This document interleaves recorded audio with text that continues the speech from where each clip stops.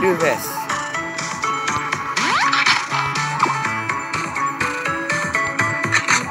Do not click the weapon slot. You will glitch it if you do that.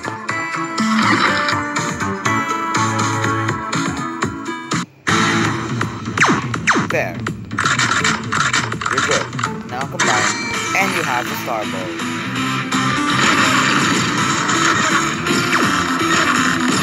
That is how you. That is how overpowered this weapon is. It's really So walk up. Really overpowered. Actually no, I think yeah, it's.